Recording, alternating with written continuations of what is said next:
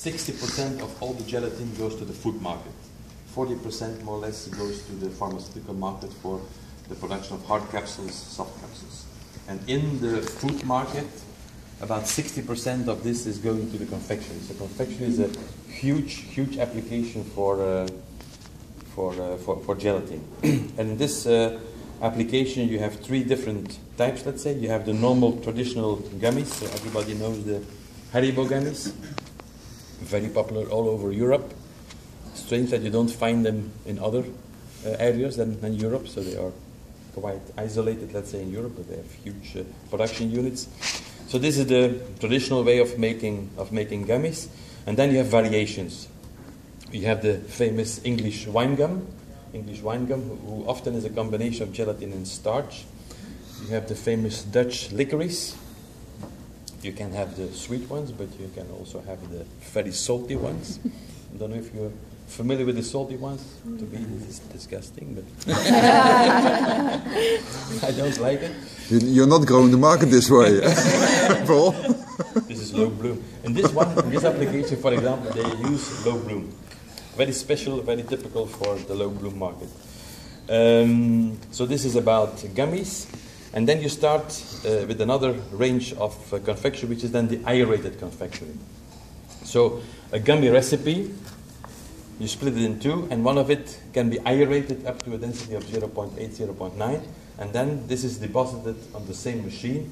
You first deposit, in fact, the transparent one, then you aerate, and on top you deposit the, the aerated one. So this is one application. Then if you go deeper in the aeration process, you can go to Uh, what they call deposited marshmallows, where you have an aeration of about, of a density of about 0.6, and if you go deeper, then you have the real marshmallow, the extruded marshmallow, with a density of about 0.25.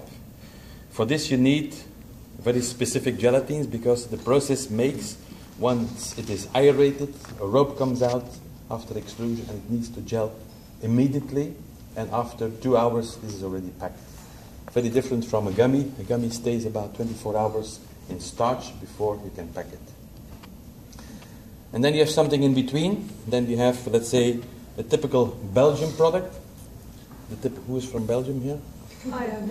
You are. So you know the, the mellow cakes. Eh? The mellow. The mellow cakes is a very fantastic product, which is in between bakery and confectionery. So you have a marshmallow on a cookie covered with chocolate. Uh, it's from Milka. Then you have the product from Lotus, who is a marshmallow on a soft on a soft cookie. And then you have the very special um, Cuberdons, you know them as well? Ghent, coming from Ghent. And in Ghent there is even a fight, a fight on this. You have two producers and everybody claims in fact that they have the original recipe. and on the little market in Ghent, it's not the first time they are fighting for this. Uh, inside you have a liquid, liquid part. And this liquid part is a combination of gelatin and gum arabic. These are not nice, these ones. I think this is from the, from the other ones. because